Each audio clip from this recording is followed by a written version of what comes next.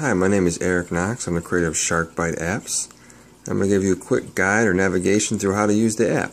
So we'll start out at the top. One of the features, we have uh, seven, eight features of the app now. We can add more all the time, but here's the types of sharks. Pretty self-explanatory.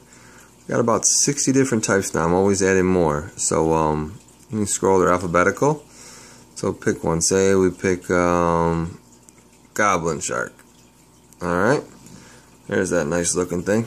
So it's got the scientific data, Latin name, stuff like that. You click on it. I'll back up a little bit and it'll give you features, unique features, stuff like that. Protruding mouth, habitat, diet, honey locations, human interaction, stuff like that. Some conservation status on some of them that need it.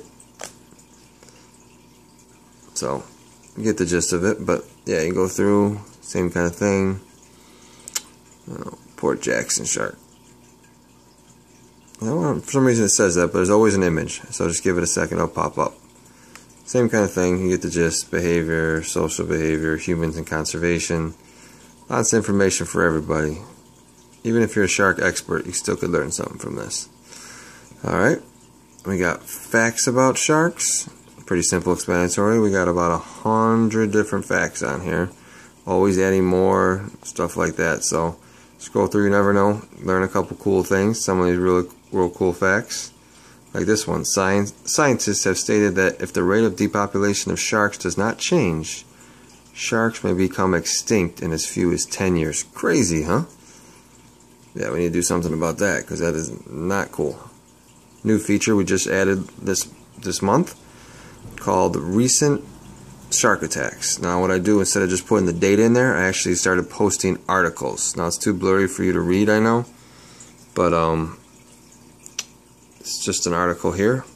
Another one, last one right now, I got one up to date. It's just happened less than a week ago, 8-8. So um, scroll through, you can read different articles about attacks. Might be changing the way it's presented here a little bit. Now we're here to the main, the middle, the main feature of the app called Search Your Beach. What you can do is you can put any, you can search by country, location, which is almost the same thing as view all beach list. I like to go by. Um, what you do is you can type in up here. Wait till that loads. There's a lot of them. We have over 5,000 incidents here. Um, so we don't just log shark attacks. We log shark-related incidents. So say what I mean by that. So say you're surfing, your board gets bit, but you do not. Most people don't consider that a shark attack. We don't. We consider it a shark-related incident, but we still feel like it's important enough to put it down. So if you're in the water, we figure you want to know that. So we'll just type in uh, no beach everybody knows. Say we'll type in Myrtle Beach. So if I just type in Myrtle, it comes up. So scroll up and down, I'll show you all the cases at Myrtle. So if you look at it, say we'll do this one. Myrtle Beach, it comes up with all the information. At the top, I don't know if you can see it because like I said the camera's got to focus. This one was June June of 2012. Myrtle Beach, activity swimming, name, male, sex, the injury, time it happened, the type of shark, and investigator source. So we have on every shark attack known, we have data on, guys. So if, if you find one out there we don't have, please email me so we can put it on. But like I said, we have we have close to 5,500 incidents now. All right, that's this is the iPad or iPhone. Looks very similar. I am going to pull up it on my tablet here to show you the Android way because it available for both tablets and Androids. Um, so iPhone, Androids, tablets, iPads, iPods, all that stuff. It's, you can get it on any of them. Go on to the next feature. Now this is all sorts of different features called um, how to avoid a shark attack. We have different types of shark attacks, reasons for attack, prevention, self-defense, all that kind of stuff.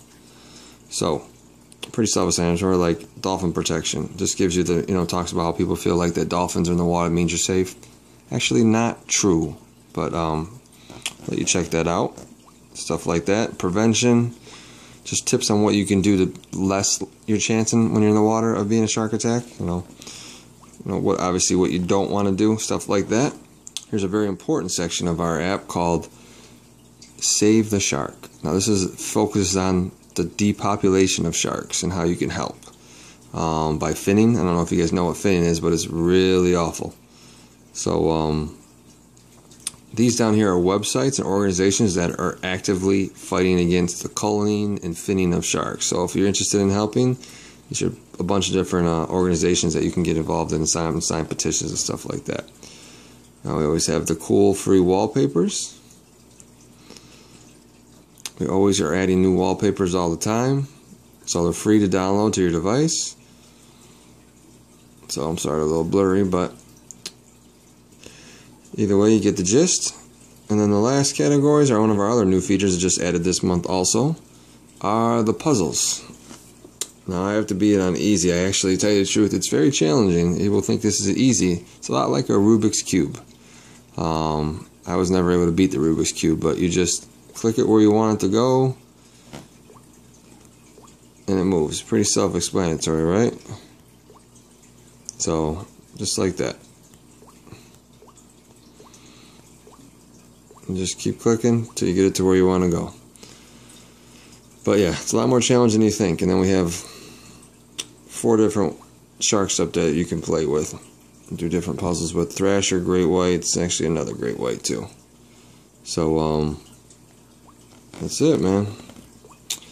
Enjoy the app. Thank you for downloading, and um, please rate us. All right. Thanks a lot.